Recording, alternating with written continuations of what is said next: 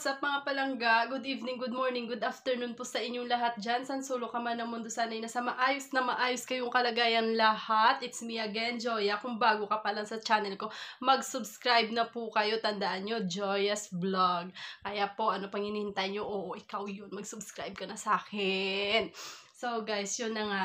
May, may bago tayong gagawin ngayon. Bagong-bago siya actually kasi medyo marami na itong nakagawa. Kaya nga bagong-bago siya eh. Okay.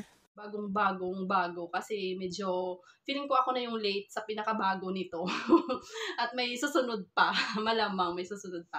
Ngayon guys, mag-unboxing tayo. Unboxing kasi may binigay si madam sa atin. So, kailangan nating i-unboxing yun. Pero hindi kasi siya nakabox, kaya unplastic yung gagawin natin. Unplastic. plastic ba? Gaya ng friend mong plastic. Yun, ganon. So, um, samahan niyo ako guys at busisiin natin kung anong laman ng mga plastic na pinamili ng madam ko. Ito po. So, dalawang plastic po siya.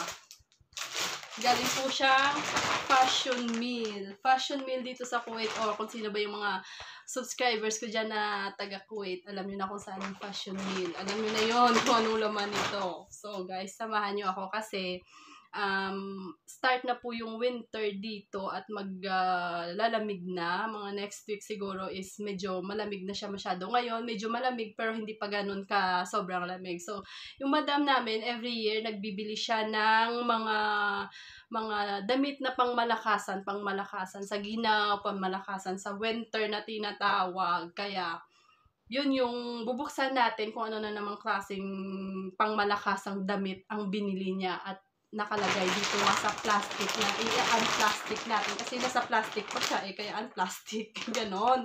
Tapos i titingnan natin kung anong laman ng plastic. So guys samahan niyo ako kung ano yung mga laman ng plastic na to ha? Pero wala pong tao dito. Wala din yung kaibigan mong plastic dito. So let's go! A few moments later. Plastic lang po tayo kasi wala tayong box. Kaya unplastic ang tawag dito. Plastic lang kasi yung mayroon tayo. Eh, so guys, yun na nga samahan nyo ako at i-unplastic na natin yung mga gamit na pinamili na naman ng madam namin. So, unahin natin ito medyo mala, malakas kasi medyo malaki siya. Maraming laman. At naka-scotch tape pa. Anyway, ako lang nag-scotch tape ito para medyo intense. May bubuksan tayong scotch tape. And plastic nga din. So guys, let's go! Start na natin. Two very boring minutes later. natin.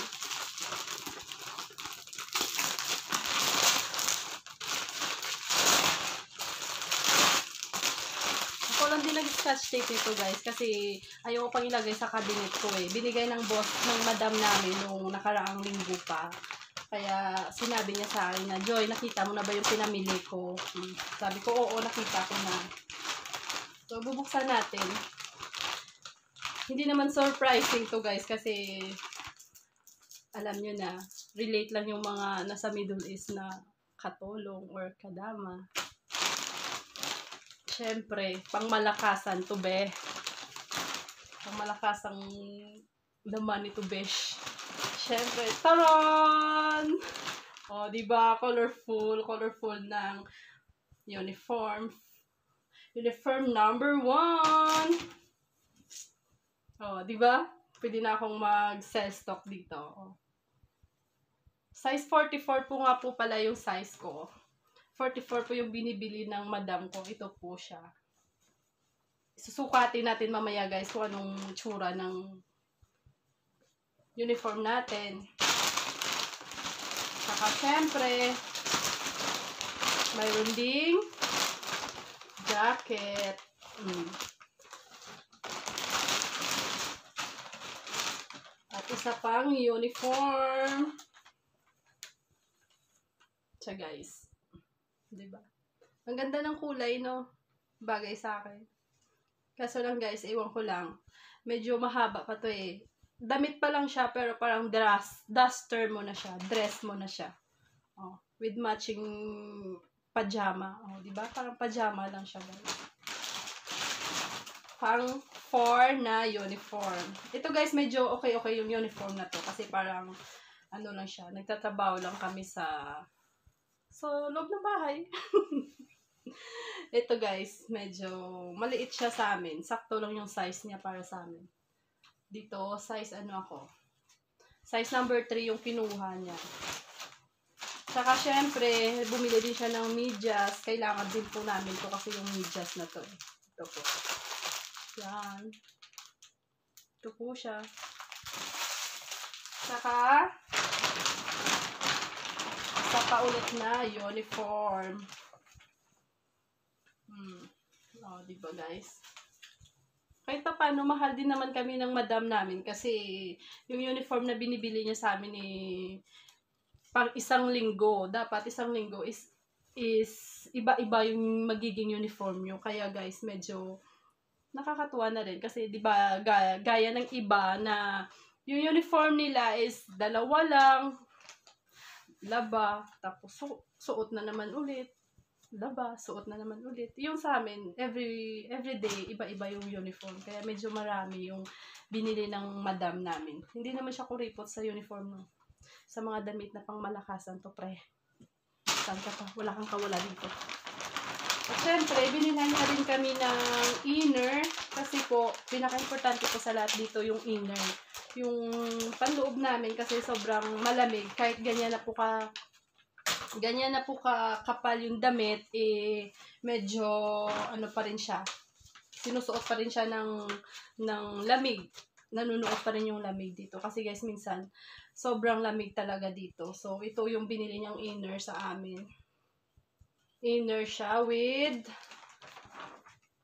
leggings na rin siya. Pang malakasan din to guys.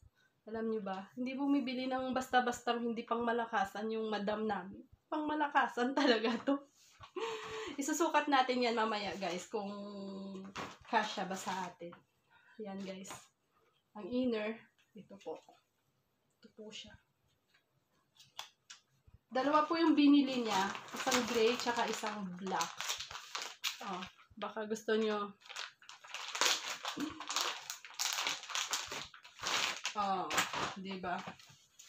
Ano siyang size siya sa akin, guys? Large. Pero guys, ito, pag nilabahan mo to, siguradong magiging extra large na siya kasi sobrang, ano siya, stretchable siya. Mabuti nga ngayon di, kasi hindi siya, ano, hindi siya bumili ng puti kasi nakakairita ng puti. Nakakairita siya. Nakakairita, master. Ito po, yung pantalon, yung pantalon, yung leggings partner ng inner namin. Tsaka, most of all, hindi niya talaga makakalimutan yung hijab. Kasi guys, minsan, nag-hijab ako, minsan wala. Ano lang ba? Kung kailan ko lang gusto, kung kailan kong gustong mag-hijab, mag-hijab. Pag hindi, wala rin naman siyang pakialam kung ano. Kasi ilang beses niya na akong sinasabihan ni Joy, bakit hindi ka nag-hijab? Eh wala, eh, naiinitan ako. Bakit ba? Oh, yan. Kahit na hindi na ako nagsusuot ng ganitong hijab or cover sa buhok, binibila niya pa rin ako para para fair na lang sa kasama ko kasi yung kasama ko Muslim um, kailangan talagang mag-hijab. So, binilhan niya ako ng ganito.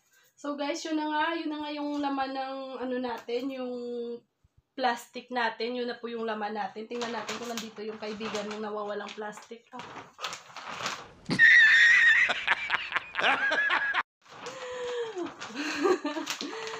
Joke lang po. So, yun nga guys. Ibabalik na lang natin sa inan plastic natin. Tapos, ililigpitin din natin kasi ano, tawag dito, isusukat natin kung saan ba at kung maganda ba tignan sa atin. Pero I'm sure naman kahit hindi hindi siya maganda, kailangan pa rin nating suotin yun. No choice tayo eh. Nandito tayo sa bansang napaka-conservative. Dapat eh, makiisa tayo sa kanila at dapat sundin natin sila para wala tayong maging problema sa mga boss natin. At ipagpasalamat na rin natin sila guys kasi alam nyo yon yung mga ibang katulong dito or kadama dito sa Middle East is masasabi nyo talagang may mga madam na mga employer na hindi talaga sila hindi talaga sila ganun ka ano sa mga katulong nila na yung isang uniform lang okay na ikaw na bahala katulong ka diyan kung papalitan mo or hindi. Eh tayo kahit paano swerte tayo kasi nga tingnan nyo naman ang dami nating pagpapalit-palitan 'di ba? May jacket pa may inner pa. So iwas lamig tayo dito guys. Safe tayo dito sa mga lamig-lamig na yan. Kaya samahan niyo akong isukat na naman yung mga pinangbili ng bus natin. So, guys, ang dami ko ng so, guys. So, guys. So, guys. So, ako na siguro yung si Mrs. So, guys. So, guys.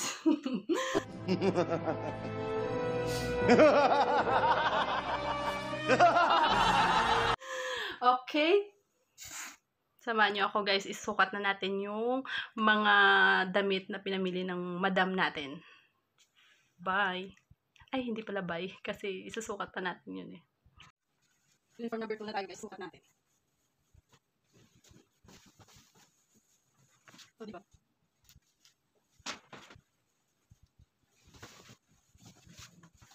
Hmm. See? Sabi sa inyo kung makakasan to guys. Uniform number 3. Uniform number 4 tayo guys. Sukat. Sabi ko nakakasan. Hindi ko nakasabi yung dami. O, diba? O, diba? Sabi yung fish nasa level na sir, Siyempre yung kasi kang nag-US, state time ko. Nandiyan ba? Kasi from the US, Ah. Dalawa yun eh. Ano yung minong ganun sabi? Hmm, di ba? Sinasabi na, mo, this is panic. Pwede pa namin.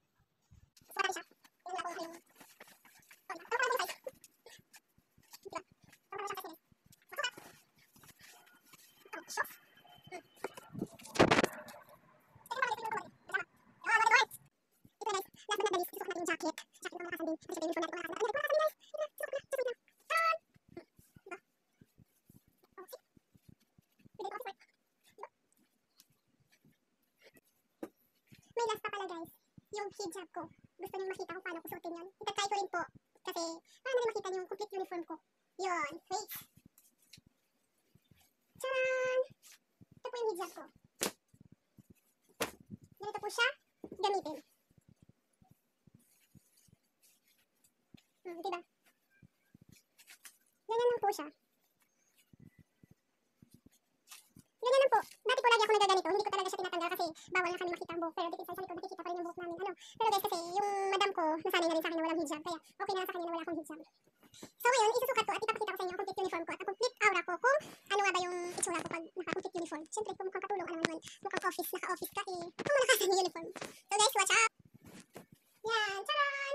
Yan na po guys yung pinaka-complete uniform ko. Di ba? Nakakasaya, nakakatuwa, nakakatuwa lang enjoy your work lang lagi mga kabayan kung ano man yung mga uniform mo. So guys, ito na nga yung pinaka-complete uniform ko. Ito po yung everyday na uniform or aura namin dito sa Middle East na as a katulong or as a kadama. Kaya ito na siya guys, tingnan nyo. Oh, di ba? Oh, di ba? Ang ganda ko. So yun na nga guys, doon na lang magtatapos yung yung vlog natin tungkol sa pag-plastic natin ng mga damit na mga pinamili ng boss natin, ng boss ko. At um, at ayun na nga mga palangga, natapos na yung pag-unplastic natin. Nakita nyo kung ano yung